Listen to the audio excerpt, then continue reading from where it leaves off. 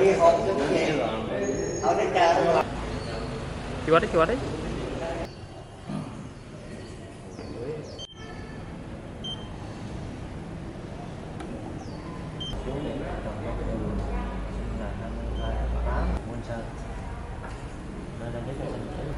theo chỉ đạo của giám đốc công an thành phố Đà Nẵng là cấp phát căn cước công dân trên toàn bộ địa bàn công an thành phố.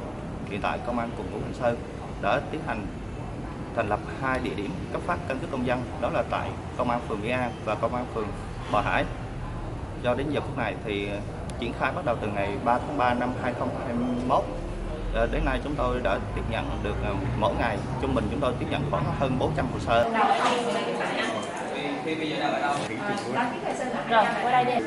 Có thì nhớ chính xác được không? Đúng không?